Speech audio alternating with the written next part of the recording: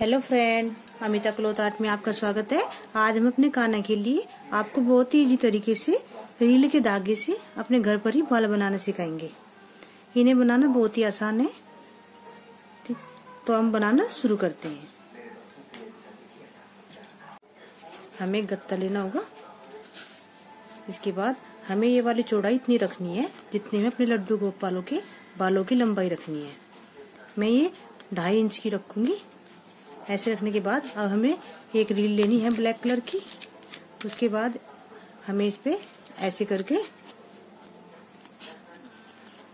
ऐसे घुमाते हुए काफ़ी राउंड ऐसे ही कर लेने हैं। ये मैंने देखो, इस पे इतना ये रील लगा ली है इसके बाद। ये आपकी इच्छा है। आप जितने हैवी बाल बनाना चाहते हो, इतने ही धागों को कैसे करके कर ली मैंने देखो, मैं ज़्यादा बड़े नहीं बना रही हूँ। मैंने हाफ़ रील लगा लिए और इसके बाद आपको कट करने के बाद अब हमें इसके एक हिस्से को कट कर लेना है। जैसे यहाँ से करते हुए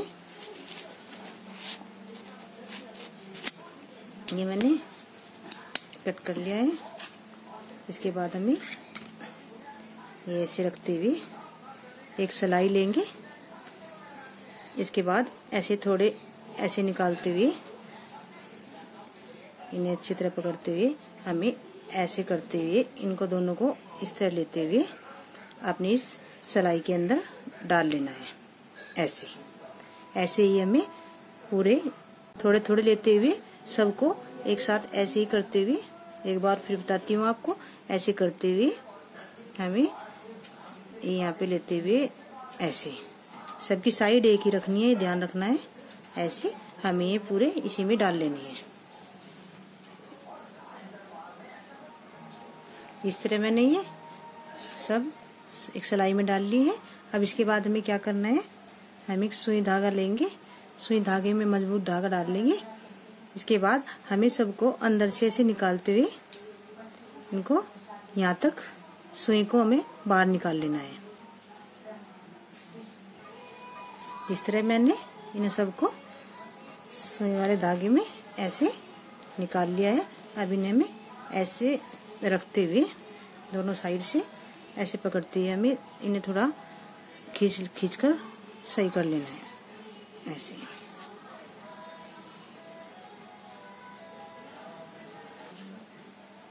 सबको अच्छी तरह खींचते हुए देखो, मैंने इन्हें इस तरह धागे में कर लिया अब हमें इन दोनों धागों को एक साथ यहाँ पे ज्वाइंट कर देना है।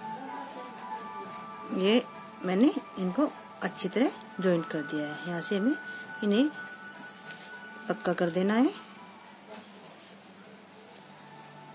ऐसे पुराई करने के बाद, करने के बाद अब हम यहाँ से इसको कट कर देंगे। ये हमारा कट हो गया। इसके बाद अब हम अपने बालों को ऐसे रखते हैं। जब हमने काना को पहनाएँगे तो हमारा जो बीच वाला हिस्सा है, हमें जो काना के सर के ऊपर एक गोल जो घेरा होता है, उसमें इनको लगा देंगे। किया हुआ कंगा, मत लगाइए, ये नया है, मैंने अपने काना जी के लिए रखा है। ये करने के बाद देखो, ये हम धागे से बनाए हैं बालों को अच्छी तरह कंगे कर सकते हैं।